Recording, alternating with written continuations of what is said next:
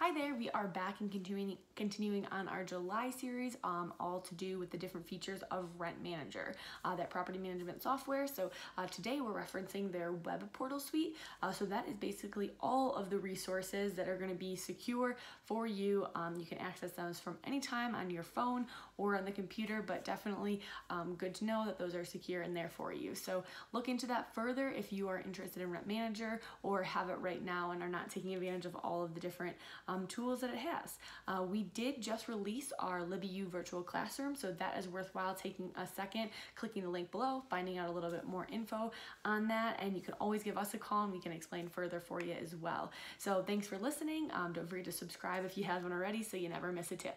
Thank you.